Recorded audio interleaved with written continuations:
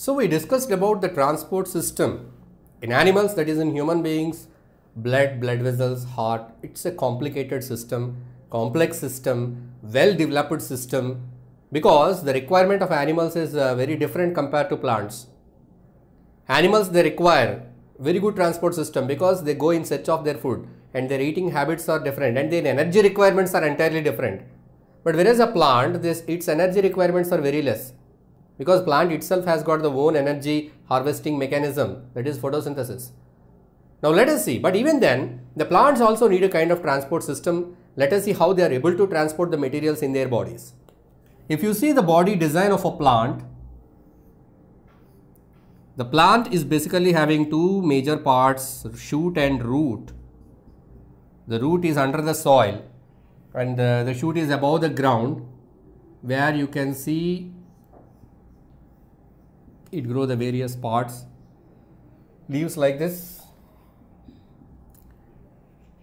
So from where does this plant get the materials?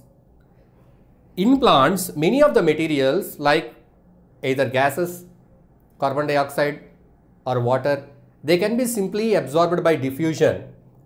Diffusion is a mechanism by which they can simply absorb the materials. But it is limited Sometimes diffusion may not be possible from this point to this point because certain trees they grow very tall, meters of height, more than 20 feet, 30 feet, 40 feet, 50 feet. So that much height. So here it may not be possible by simple methods like diffusion or osmosis, the materials cannot be transported. Actually, what are the basic materials that are transported here in plants? You see, water is the major one. Along with water, minerals because for the growth of plant, water is needed as well as minerals like sodium, potassium, phosphorus. Along with that, so many other zinc. Zinc is required, magnesium is required. So in this way, so many minerals are required by the plant and these minerals are absorbed along with the water and the water it need to be transported to very long distances in the plant because here this is the site of photosynthesis in the leaf water is required there water is available in the ground. So from here the water has to be transported there. But as i told you the growth pattern or the energy production is less compared with the animals. Energy requirements are less in plants compared to animals. So here the process is slow. The transportation is also slow. They have some tissues to transport the water but they don't have any pumping organs like heart in animals. Plants do not have any pumping organ. And this is the one way that is water from roots to the tip of the plant, two different parts of the plant. In this direction transport is required and food is prepared in these parts. Sometimes the food has to be stored here. In case of carrots or other plants, food is stored in the roots. Sometimes the food is stored in the stem. Sometimes the food is stored in fruit. So the food is produced in the leaf, it has to be stored in the fruit. So it should be transported to this fruit. So here the transport is required. The prepared food materials are to be transported. So the transport of water and minerals is done by a special tissue called as xylem and transport of food other materials is done by phloem these are the two different tissues which form the vascular tissue. We call it as a vascular tissue. The plant stem has got, stem and root, they have got a vascular bundle at the middle. The vascular bundle is comprised of the two tissues, xylem and phloem. The construction of the xylem and phloem, the various parts of the xylem and phloem are studied in your ninth class plant and animal tissues. So in this lesson, you learnt about this xylem and phloem, what are the components and how do they work. So here, the plants, they have the transport system that is the vascular system which consists of xylem and phloem that help in the transportation of water and food materials. So in plants, we discussed that there are some tissues called as xylem and phloem that help for the transportation. But what are the driving forces? So xylem is responsible for the transportation of water, phloem is responsible for the transportation of food.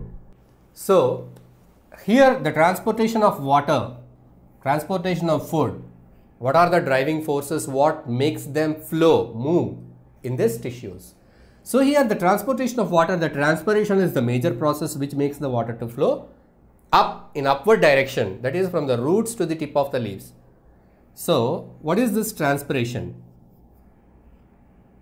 The leaves of the plants or trees they have pores through which the water is evaporated continuously that is by the transpiration.